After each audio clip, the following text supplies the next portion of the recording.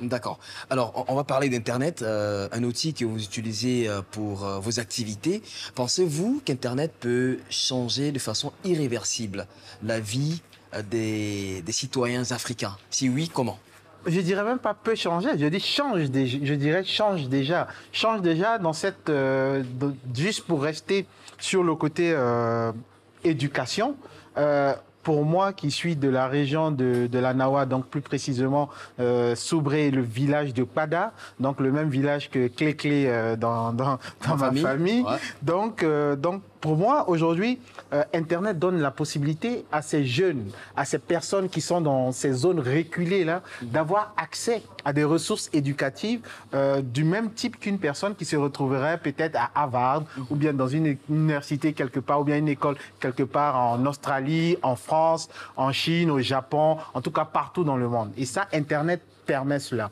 Et donc, pour moi, aujourd'hui, Internet est un facteur très, très, très important. Pour, vous savez, il y a un certain gap souvent euh, entre nous et certaines, euh, certaines contrées du monde. Mais aujourd'hui, Internet permet d'être au même parfum d'information. Souvent, il y a des choses qui se passent à l'instant T et grâce à Internet, on a tous la même information à l'instant T. Donc, pour moi, aujourd'hui, Internet a changé considérablement les vies. D'accord. Alors, euh, Internet, c'est également la liberté d'expression.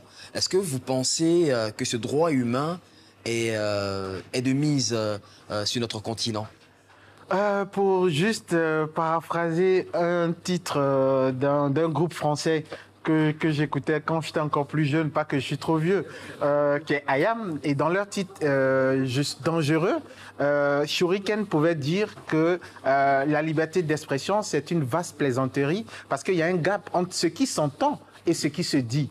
Et aujourd'hui, c'est un peu, pour paraphraser, c'est un peu l'image qu'il y a dans cette notion de liberté d'expression sur notre continent. Aujourd'hui, on dit oui, vous avez la liberté d'expression, mais lorsque vous essayez de vous exprimer, et quelques minutes après, votre téléphone sonne pour dire mais qu'est-ce que tu voulais dire par là sur les réseaux sociaux? Et généralement, peut-être ça peut être les renseignements généraux qui vous appellent, ça peut être d'autres personnes qui vous appellent. Donc est-ce que nous sommes vraiment, il y a vraiment cette griffe, cette liberté d'expression? C'est une question que, que je voudrais poser aussi à ceux, à ceux qui nous regardent. Est-ce qu'ils se sentent vraiment libres de dire ce qu'ils ont envie de dire? Est-ce qu'on a vraiment envie, on a la possibilité de dire ce qu'on a envie de dire aujourd'hui? Ça, c'est une question. Et surtout dans, notre, dans nos contrées africaines, c'est encore d'autant plus, plus, plus difficile.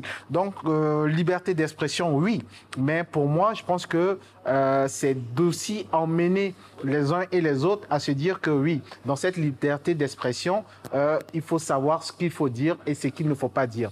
Mais moi, en tant qu'activiste, mon côté peut-être va, va parler un peu plus là, c'est de dire que nos gouvernants, en disant liberté d'expression doit vraiment dire que c'est la liberté d'expression, pas passer derrière par d'autres manières pour intimider, pour faire ce type d'intimidation, comme on le voit un peu partout euh, dans certains pays, pas forcément en Côte d'Ivoire, mais dans certains pays aussi de la, de la sous-région bien africaine. D'accord. Euh,